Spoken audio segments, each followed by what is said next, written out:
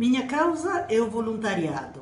Não se pode viver numa sociedade, não se pode construir uma sociedade justa sem a participação de cada um de nós nas grandes e pequenas causas que nos movem.